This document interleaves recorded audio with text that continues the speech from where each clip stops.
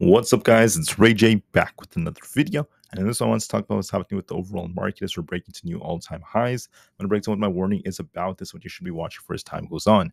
But just note that I am not a financial planner, so take nothing I say as financial advice. And also, if you guys can, please check out my Webull link. If you deposit any amount of money, you're guaranteed 12 free stocks. If you deposit $500, you're guaranteed 20 in total. And deposit $25,000 or more, you're guaranteed 75. The offering is very soon in just three weeks.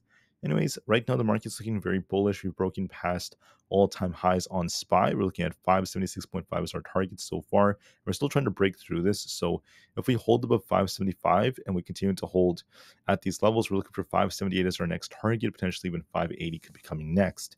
Now, even though the market is bullish, I want to just say that I don't really hold this view forever.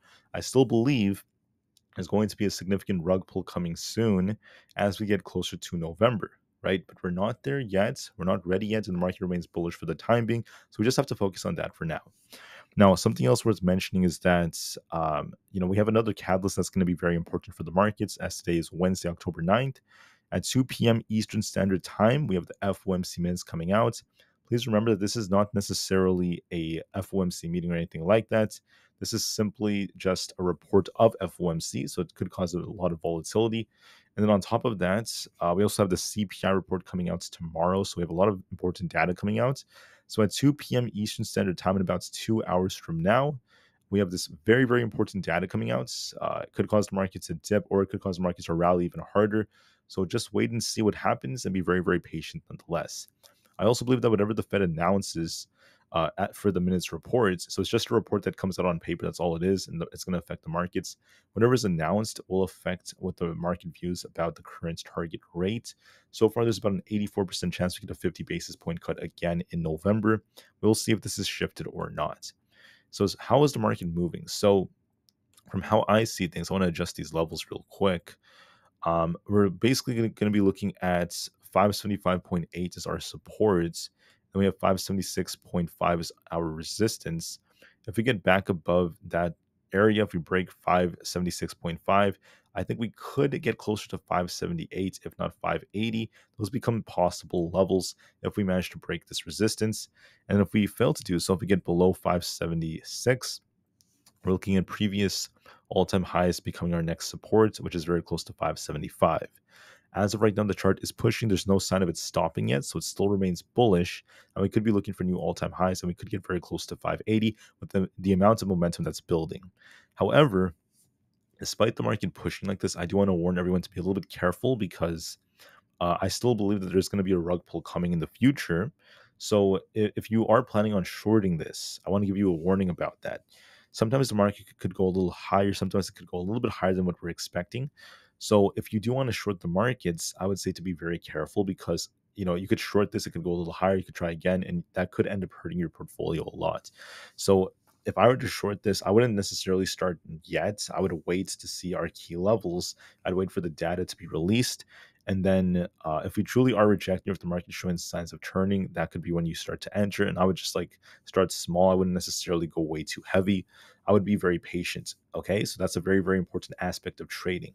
Uh, it's not ready to short yet. The market remains more bullish. Not financial advice. I'm just saying, just be careful for my friends out there who are trying to do it, and be patient with this data that's coming out 2 p.m. is when we're going to be looking for a big move.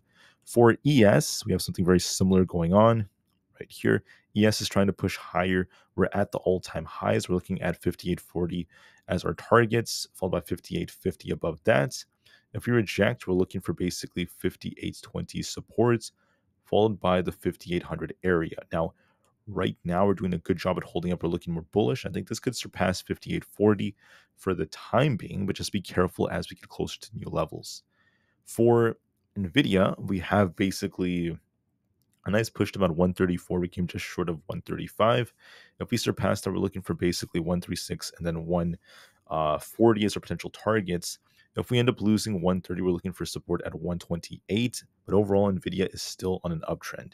Now, just know resistance is going to be kind of tough around 135 and also at 130, basically closer to 140. So be a little bit careful as these levels are reached. But I just wanted to make it very clear NVIDIA has its AI conference that's still going on and has already pumped so much for the last couple of days approaching it. So that's the reason why it's now kind of stagnating. So I think it's going to likely continue to do that Bitcoin is range bound. If we break 62,500, we're more bullish. If we lose 61,800, we're more bearish. We're just in the middle for now, so just just shuffling.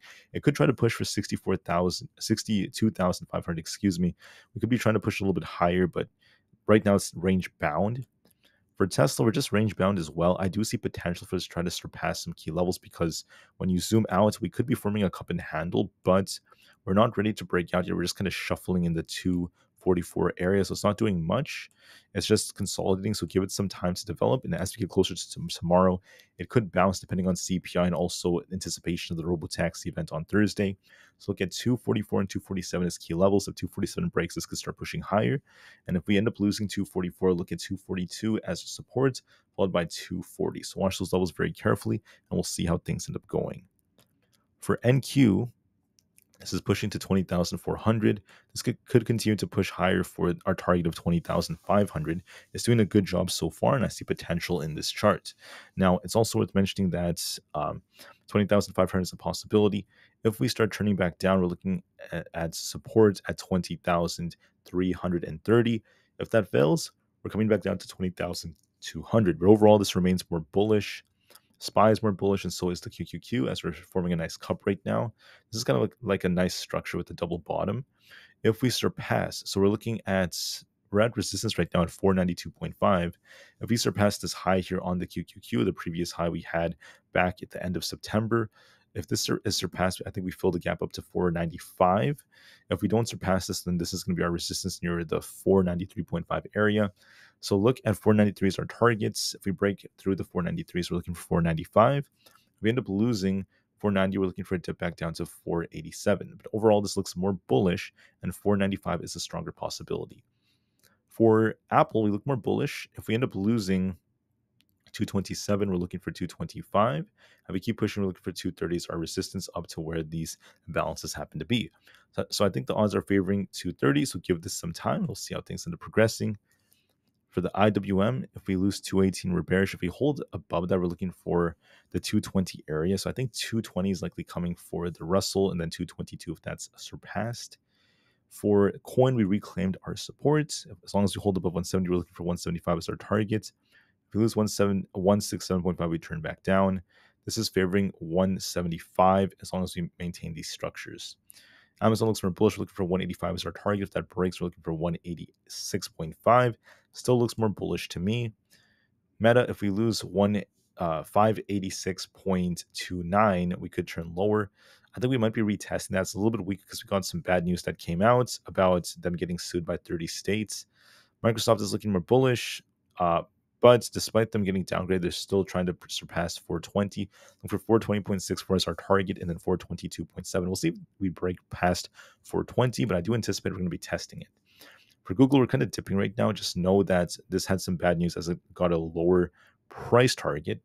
So 162.5 is going to be our support, and we'll see how we end up reacting from there.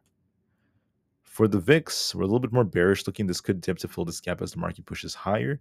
Uh, it's no surprise we have this before CPI, but despite that, there's also another big gap to fill up here, all the way up to the 36s. So, like I was saying in my morning video, this could dip lower as the market pushes higher. But then eventually the VIX is going to break out higher because the market's going to get a rug pull in November, most likely November. So I still think there's going to be a rug pull coming. My view, my thesis remains exactly the same. So the only thing that changed about my view is the fact that the market went higher than expected, and I still, you know, I did turn more bullish before this move happened. So we called this move. I was telling you all this is going to likely, you know, try to reach all-time highs if not surpass them. We said that in my morning video and also my video yesterday. I had to make an adjustment, so we were correct about that. Now, even though that was a little adjustment I had to make, the market remains bullish, and we could push more. Now, whether or not we continue could also depend on the status. So get ready for FOMC minutes and CPI.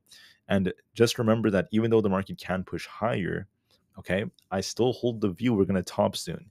The top could be closer to 578 to 580, could be closer to 580. We'll have to wait and see. And wherever or however high we go, um, just know that I don't think the move is going to last forever. There's going to be a rug pull coming later on, closer to November. We're not ready yet, so we remain bullish for the time being. So just keep that in mind. But that is my view. It's still quite consistent. I thank you all for listening. So have a great day and peace out.